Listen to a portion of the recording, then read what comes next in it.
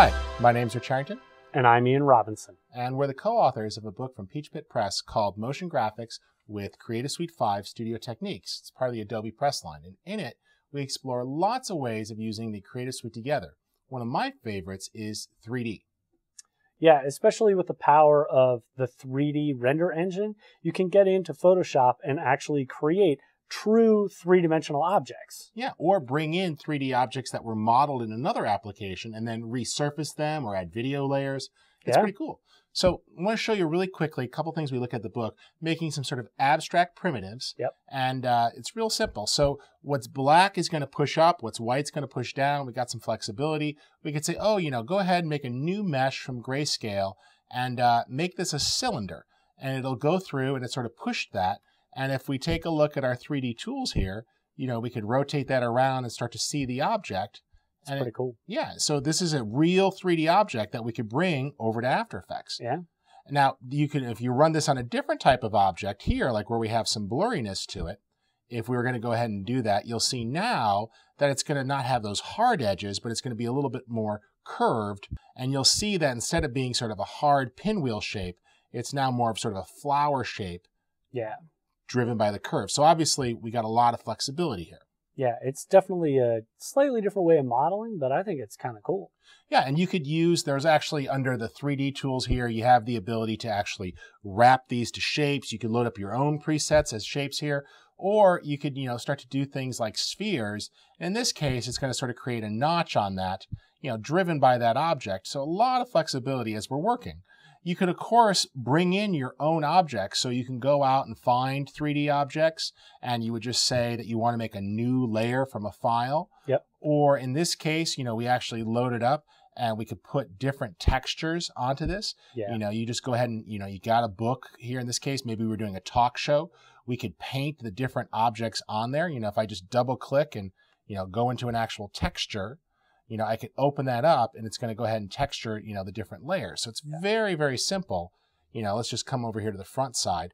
And if I wanted to put a different texture on the front, you know, there's the side texture, you know, roll over, you see them. There's the front texture. Yeah, it's really nice and slick how all those different layers are kind of integrated into that one master layer, but they're grouped in a way that visually makes sense, especially when you're trying to think of it as almost a, a an extension of layer styles, if you will, when you're applying a layer in Photoshop.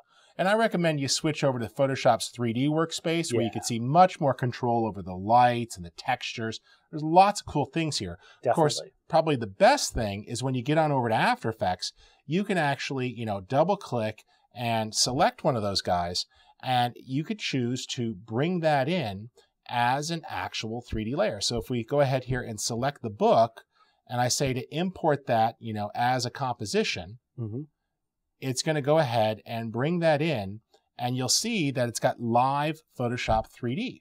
Yeah. So there it is as an actual layer. The important thing here is you don't actually move the 3D object. No. No, bad. you use the controller layer and you can start to spin that object around, you know, do it. Notice it has real depth. Mm-hmm. You could animate the camera. I mean, That's you right. use these all the time in your workflow. Yeah, yeah, most definitely. And you know, now that it's in After Effects, we can keyframe it. Oh yeah. Yeah, so you could, you know, move the 3D camera in, sweep in, do all these great things. Yep. But there is a little trick. Like these have lights already added to the model. But you say, well, what happens if I wanted to change that? Well, you kind of can. It's interesting is that, you know, here we have this ring that we brought across. And, you know, we said, well, we wanted that ring to start to, you know, react more to the actual uh, things that we're working with. Like, oh, we really wish that we can see. Highlights adjusting with the lights. Yes. Yeah, what a thought, right? Novel idea, right? Interactivity amongst different layers within After Effects. Yeah, so we, we got our light here, you know, and we start to adjust the intensity. And you, you see that really, you know, like, look, there's no light, yet there's still a highlight on the light. Yeah, it's weird how that works, right? Yeah, so that's because the model has its own 3D lights built in. So Yeah. I recommend kind of lighting a little bit flat in Photoshop. Yep, yep. And then if you make this a 3D layer, it's going to go ahead and become a 3D layer. And so now, as you adjust lights here inside of After Effects, those are going to react in the model itself. Yep, yep. And, and you brought up a really cool thing. We got a new option here in our lights, right? Oh yeah, yeah. Light fall off. Light fall off is really, really a great thing because now, you know, in the past, when you set up a light inside of After Effects, what it would do, uh, that light would be on and it would just travel as far as you could see. Now, you get the appearance of fall off if you angled the light to the layer, but really, if you moved another object way far down in the scene, you would still have the same brightness intensity that you would have if that layer was right next to that light. Not but, very 3D. No, no, not very 3D at all. So with light fall off, you actually have two new options. Smooth and inverse square clamped, which sounds like a medical condition. That's right. That's you have right. much more of a 3D background than I do. So smooth is going to be the default choice for most people, right? A little more gradual. Yeah. The easiest way to think of smooth is think of it in a linear fashion. It's a linear control. So really, when you have smooth, you have an adjustment for your radius and your fall off distance. So the easiest way to think about this, the radius is the size of the light and mm-hmm. then the fall off distance is how far that light actually travels from the edge of the size you set from that radius. So as we're adjusting the fall off distance there, it's sort of a finer level of control than say intensity because you could just have it more gradual as it transitions. Yes. Uh, but then we also do have the inverse square clamped. Yes, which honestly, you could just quantify this by saying real. okay. So this is this is trying to be a little bit more photorealistic. Yeah. Obviously a little more intensive there, but we're getting some really nice highlights there. And as we adjust sort of the fall off here, uh, we've got the radius there. The fall off distance sort of falls off. It's just the fall off distance is going to be dictated by the relationship from the light to the background layer, right? Yes, yes, most definitely. So, and again, you know, I quantified it by saying real, but as we all know, light actually does travel in a very quantifiable fashion. And inverse square clamped is literally just the, the long terminology to uh, define the um, algorithm that mathematically it's happens. for real, sort of That's like right. how Gaussian means natural. So. That's right. That's right. All right. So enough technical speak. now, one of the other things that's new, and, and this is, you know, actually simplifies things quite a bit. We had 3D channel support before. If you wanted to create true 3D graphics. But now it's gotten a bit easier. So if, if you set up a complex composition and, and, and you've got some objects moving and, you know, you say, oh, well, I, you know, let's go ahead and sort of animate that camera. You know, we'll go ahead here and we'll go with position and point of interest here. We'll just sort of rock that over on the position side. So it's sort of moving through the scene. Yeah, look at that move. Okay. Real simple, mm-hmm. you know, but it's fine. And, uh, you know, we'll just tilt that down just a little bit with the position there. So we're good. Um, you know, we're doing what we needed to. Well, the cool thing here is that we actually now have the ability to turn this into a true 3D object. And uh, it'll render this out with two channels. So this is 3D, but of course, by default, this is sort of flat. Right. But, you know, as broadcast networks are looking more and more at 3D uh, delivery to consumers yep. or feature films, uh, you might create a full blown camera move and you say, well, you know what? I really wanted to turn this into an actual 3D two channel graphic. Yeah. I mean, if you have a 3D television, what's better than actually creating something that you can actually see in 3D on your own machine? Yeah. So we'll go ahead here with the camera selected. We'll choose that we want to go ahead under layer, camera, create stereo 3D rig. And at this point, your machine sort of goes into autopilot. You're like, what just happened? Well, it did two things here. It actually, if you go back, you can look at the original project and you'll see that there's our first film strip. And oh, yep. okay.